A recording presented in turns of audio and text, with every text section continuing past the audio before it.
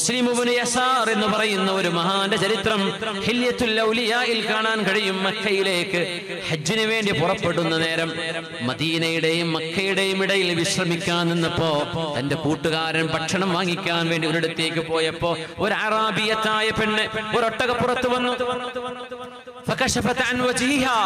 അവളുടെ നിഖാബ് അവൾ ഉയർത്തിയപ്പോൾ അതിസുന്ദരിയായ ഒരു പെണ്ണ്. അവൾ പറഞ്ഞു ഇന്നലി ഹാജ.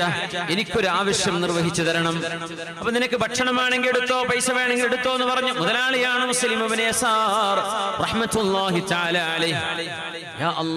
അവൾ ഉദ്ദേശിക്കുന്നത് തിന്മയാണെന്ന് മനസ്സിലായപ്പോ അവിടുന്ന് ഓടി ഓടി ഓടി ഒരു മലഞ്ചെരുവിൽ പോയി തളർന്ന് കിടക്കുന്നതാണ് തന്റെ കൂട്ടുകാരൻ കണ്ടത്.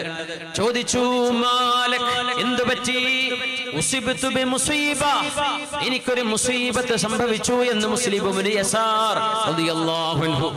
ചെറുപ്പക്കാർ മനസ്സിലാക്കണം വ്യഭിചരിക്കാൻ അവസരങ്ങൾ ഉണ്ടാകുമ്പോൾ അതൊരു മുസീബത്താണ് ഒരു പരീക്ഷണമാണ് എന്ന് എത്ര പേർ ചിന്തിക്കാറുണ്ട് നമ്മുടെ കണ്ണുകൾക്ക് യഥേഷ്ടം തിന്മകൾ കാണാനുള്ള അവസരം മുമ്പിൽ വരുമ്പോഴേ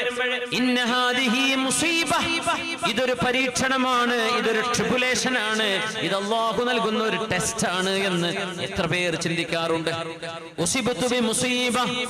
സൗന്ദര്യമുള്ളൊരു പെണ്ണ് ആരുമില്ലാത്തൊരു സ്ഥലത്ത് വിജനമായ മരുഭൂമിയിൽ തന്റെ കൂട്ടുകാരൻ ഭക്ഷണം അന്വേഷിച്ച് ദൂരെ പോയ നേരത്ത് വന്നപ്പോൾ അള്ളാഹുവിനെ മാത്രം ഭയപ്പെട്ടുകൊണ്ടാണ് പറഞ്ഞത്. ഓടി രക്ഷപ്പെട്ടത് അവിടുന്ന്.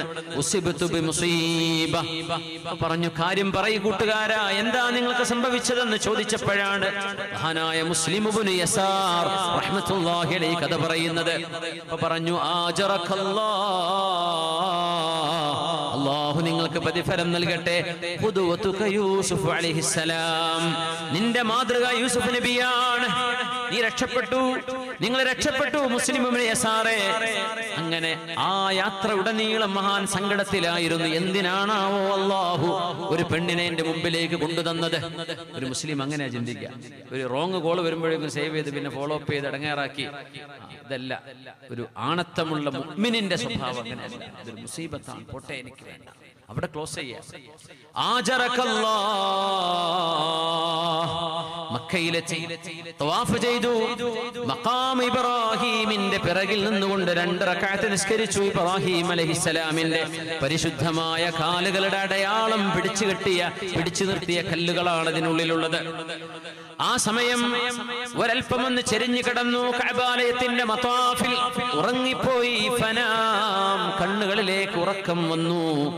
فرأى يوسف عليه السلام يوسف عليه السلام أبدا ربطتشناي من أنت مسلم يسار دنگا جودي چونينغ الآران قال أنا يوسف الذي هممت وأنت مسلم ابن يسار الذي لم تهم نينغل مسلم يسار الليو ഒരൽപ്പം പോലും തിന്മയെ പറ്റി ചിന്തിക്കേണ്ടി വന്നിട്ടില്ലാത്ത പരിശുദ്ധനായ ആളല്ലയോ നിങ്ങൾ എന്ന് മഹാനായ യൂസുഫ് അലിഹിസലാം യൂസ് മഹാനായ സുലൈമാനുബനു മുസ്ലിമുബനു യസാർ തങ്ങളോട് പറയുകയുണ്ടായത്രേ. അതൊരു സൗഭാഗ്യത്തിന്റെ അടയാളമാണ് ആ സ്വപ്നം.